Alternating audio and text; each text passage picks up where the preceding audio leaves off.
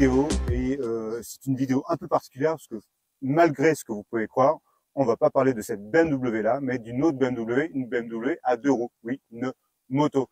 Pourquoi? Parce que BMW vient de fêter les 40 ans de la fameuse GS, la R80 GS a plus de 40 ans, et donc comme si la crise de la quarantaine, eh ben, elle est totalement renouvelée. Elle est de plus en plus routière, de plus en plus trail, de plus en plus BMW. Et donc, on a eu l'opportunité avec Philippe donc de prendre deux BMW, mais on va surtout parler de cette fameuse GS 1300. Allez, viens Philippe.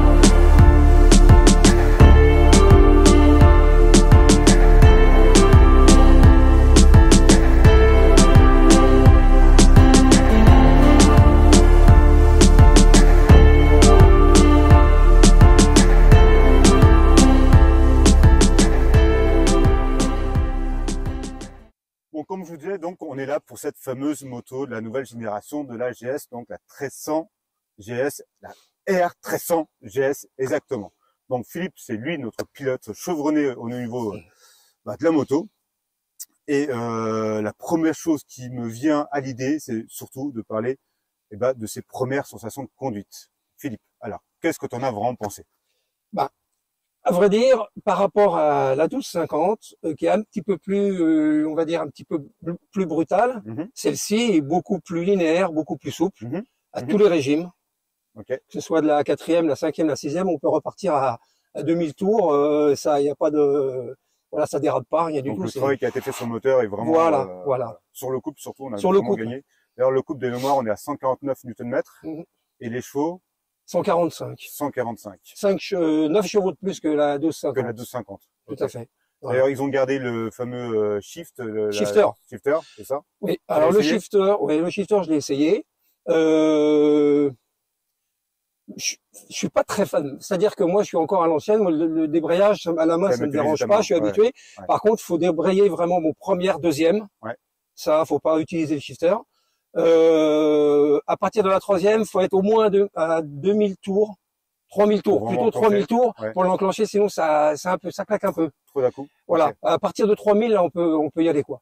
Et par contre, au rétrogradage, moi, je le conseille pas trop. Ouais. Parce que ça donne des à-coups. Bon, certains chez pour la fluidité il vaut mieux quand même euh, Non, rétrogradage, faut rétrograder normalement Ouais, avec le ok. débrayer parce que chez BMW, il y en a qui m'ont dit, oh, il n'y a pas de souci, vous pouvez des rétrograder. Mais non, moi, j'ai essayé, c'est, c'est pas du tout, euh, En tout cas, pour la fluidité, pour le Pour la fluidité, il vaut mieux voilà. le faire euh, voilà, à la main, à l'ancienne. C'est ce que tu conseilles en tout cas. c'est, ouais. Pour le rétrogradage. D'ailleurs, euh, on va continuer à parler un peu de mécanique. Ouais. Donc, euh, on m'a parlé d'un châssis qui est entièrement nouveau. Tout à fait. Tu peux m'en parler est- de, dessus? Il est, il est en deux parties au lieu d'avoir un monobloc. C'est en deux parties, la partie arrière et c'est de l'alu. D'accord, toute cette partie-là, Toute là, cette partie-là, ouais. Ah, c'est la fameuse partie en alu, partie en alu, ouais. fondue, forfait, Fondue, euh, voilà. D'un bloc. D'un bloc. Ouais. Et donc, de l'autre côté, tu as la, la- la partie cadre qui Partie, et puis la, la boîte aussi a été déplacée, je crois qu'elle est à la partie arrière. Elle est D'accord. plus du tout elle-même en, en emplacement que la- que l'ancienne. D'ailleurs, ça me fait juste penser que tu m'as aussi parlé justement de ce moteur qui avait euh, donc été euh, retravaillé au niveau des cylindres. Oui, euh, le- ils sont plus, ils sont plus, les, les cylindres sont moins, moins décalés que le, que le, l'origine. À l'origine, ils sont plus un peu, ils sont décalés par rapport au vilebrequin. D'accord. Et là, ils sont vraiment, si on regarde par-dessus comme ça, on voit qu'ils sont, D'accord, l'alignement. l'alignement est quasiment pareil. D'accord. Ok, oui, parce qu'avant il y avait donc un Il y a décalage, décalage. comme ça, et là Voilà. on est vraiment très Ils ont travaillé, vraiment bien travaillé sur le moteur. Ouais, ok, d'accord. Ouais. Donc, on, on revient sur la partie cycle, euh, parce que donc, quoi, tout cas sur le châssis, donc la partie cycle, quoi, ce que t'en penses toi euh, au niveau Bah, de la route on- au niveau, bah, la partie cycle, elle a pas trop changé au niveau des amortisseurs. Téléver, D'accord. paralever, ça c'est, C'est vrai, ouais, c'est vraiment top. D'accord. Et puis euh, le comportement routier, euh, la prise d'angle dans les virages. euh, quand on n'est pas habitué au téléver, faut faire, faut faire un peu attention quand même. Ouais. C'est pas comme une moto classique. Mhm. Mais sinon, ça va bien, quoi. C'est euh, c'est un rail. hein. Mhm. Mhm. C'est un rail. Et on le sent dans les virages, en fait, que euh, on sent qu'on peut y aller, quoi. D'accord. On, on, on- dans- on- croit que, que la moto va pas déraper, mais c'est vraiment une tenue de route vraiment euh, impressionnante, quoi. Bah, comme la 1250 euh, GS, en Donc, fait. hein. elle devient de plus en plus Elle- routière. C'est ça que Elle, elle- elle a un cran au-dessus, quand même. Encore au-dessus, ouais, Ouais. c'est ça, au niveau routier. euh, Ouais, ouais. Parce qu'elle est plus légère, déjà, un peu plus légère. Donc, mine de rien, ça y joue. Ensuite, euh, ouais, on a parlé du shifter. Mhm. La consommation, bah, ouais, là, aux La consommation, alors, qu'est-ce que tu as repéré, toi de 4 litres. De quoi? De la Ouais, la consommation ouais, moyenne, consommation, ouais, à peu près 4 litres 8, ouais. de moyenne. Ouais.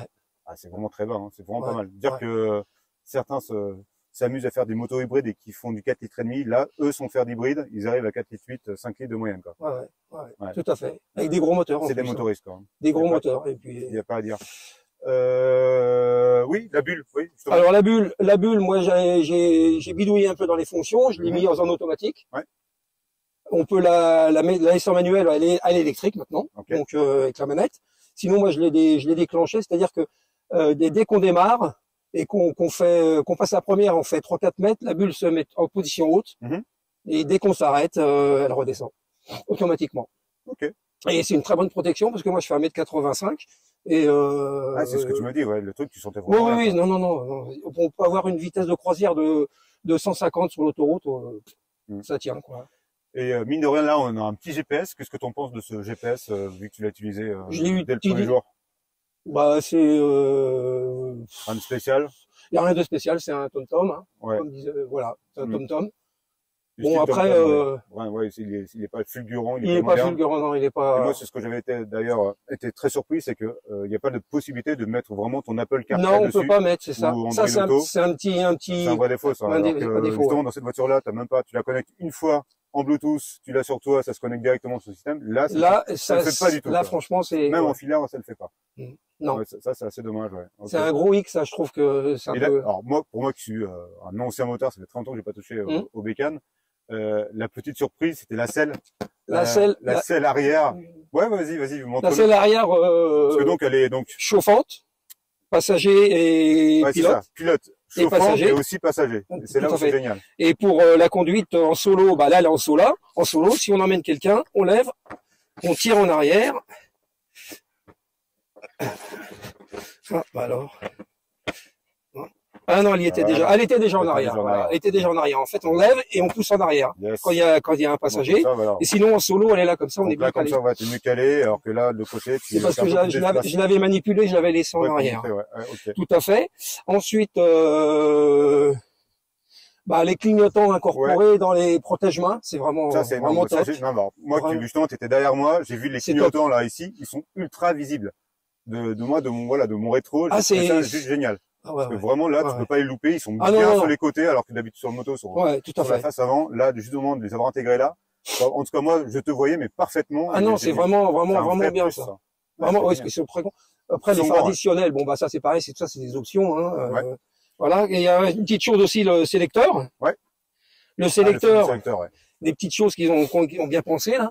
Le sélecteur, quand on est en, en position route, c'est comme On ça. et ouais. si on fait un petit peu de, de chemin et qu'on est debout sur la moto pour avoir vraiment accès à la pédale, on tire Une dessus, petite manip, et ça relève. Et on euh, la relève. Le, le levier. Comme ça, ça permet d'avoir le pied, euh, d'avoir toujours le pied, euh, d'avoir le contact sur le frein. le sur le Parce que frein. sinon, tu es obligé d'appuyer très très bas. Et, et quand t'es debout, c'est Franchement. C'est Ouais. vraiment des petites choses, mais qui sont vraiment, euh, Bah, tu vois que c'est des spécialistes, hein. ouais. Parce que je disais, hein, euh, années 80, la, la première R80 GS. Années Ils ont- 80, donc ils ont une 40, expérience de 40, dingue. hein. 44 ans. Plus de 40 ans. hein. Mhm. C'est un truc de dingue.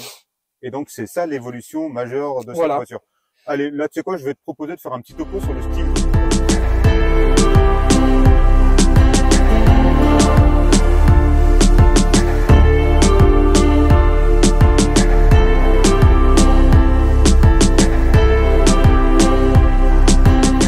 Allez, Oui. c'est maintenant le temps Allez. de nous parler de cette fameuse R 1300 GS, mais question style. Alors, parle-moi, voilà, justement, le- la chose la plus La- marquante, c'est La cette plus face avant, marquante, là. c'est la face avant avec ce, ce phare là, en, en, en croix, ou je sais pas comment qu'on l'appelle Ouais, c'est exactement. un- c'est une croix, ouais. Une ouais. croix. Ouais, ouais. Après, euh, on aime ou on n'aime pas. Bah, c'est la signature. Personnellement, bon, c'est efficace. Bah, surtout moi, ce que j'apprécie, euh, c'est qu'ils ont abandonné le- les Le- euh, feux asymétriques La symétrie, quoi, qui avait à qui étaient. euh, moi, franchement, je préfère largement celle-là. Moi, j'aime Euh, bien. Je préfère largement celle-là. euh, et de mémoire, là, le, le X euh, qu'ils ont voulu mettre ici, euh, c'est pour signifier le cross. Donc en anglais, tout ce qui est croisé, chemin, voilà, le, le Mhm. côté 4x4, c'est-à-dire baroudeur, pas 4x4, mais baroudeur de la moto. Euh, moi, je voudrais bien aussi que tu me parles de cette, euh, de cette euh, la, la ligne avant avec ce, bah, Ouais. c'est tout nouveau quoi. Avec- là, le, le bloc en Le acier bloc en- et, ouais. et, les- et le Et bah moi je le trouve euh, vraiment stylé. Ouais. Après euh, là c'est pareil. Ce qu'ils ont mis sur le réservoir, la protection, ah, ça, ça évite, super ça. ça évite aussi d'abîmer le, le réservoir, la peinture. Et c'est c'est un peu molletonné. Ouais, c'est moussé, c'est un moussé, bon plastique ouais, moussé. ouais. euh, c'est bien, non non la ligne est très bien. Mm. On la sent en fait, on la sent beaucoup plus beaucoup plus fine la moto. Ouais. Visuellement, visuellement. Mais Mhm. et en plus elle l'est. Hein. Ah, une chose qui est pas trop mal aussi là, c'est le, le petit coffre là. Le Super. petit coffre avec un rangement. En dessous, il y a une prise USB. Donc on peut brancher un téléphone et puis euh, avoir mettre euh, ouais si on veut pas se servir du Mhm. du GPS qu'il y a d'origine. Ouais. C'est très très bien ça. Franchement, c'est bah, c'est bien Mhm. pensé. Euh, L'ouverture du, euh, du réservoir aussi, elle C'est- est particulière, c'est ça Non non non, c'est ça se fait à l'arrêt normalement. Oui, c'est ça. faut qu'elle soit à l'arrêt et que la clé soit à côté pour qu'elle soit Voilà, c'est en, tout. en keyless. Oui, Voilà. parce que l'une des choses qu'on n'a pas parlé, c'est une moto keyless. Alors, c'est quelque chose qu'on a évidemment sur les voitures depuis très longtemps, mais sur les, euh, sur Ouais. les motos, c'est plutôt encore assez rare. C'est ça. C'est ça. si tu ouvrais, Voilà donc moteur euh, moteur éteint, le réservoir, le, le, le bouchon il s'ouvre. Voilà. Euh, ouais, dans notre version là que, que nous a euh, prêté gentiment BMW, on a une version bah, full équipée. Euh, Tout à fait. Malheureusement, qui dit full équipé dit euh, bah, Prix, facture euh, euh, très salée. Très salé, facture très salée. Hein, on est d'accord On est d'accord. Le prix de base euh, 20 650 euh, je pense. Et là on est on avoisine les 28 000 hein, bah, les full options. Eh, 28 000 euros. Voilà. Ouais, ouais, pas mal, pas mal, pas mal. Bon, avec des jantes à, à, à rayon euh, déporté, or. elles sont magnifiques. Euh, non, cette bah, finition. elle la finition, super. la finition, est, moi je la trouve magnifique parce que Ouais. c'est un verre un peu un verre anglais avec des, des liserés or, le guidon or.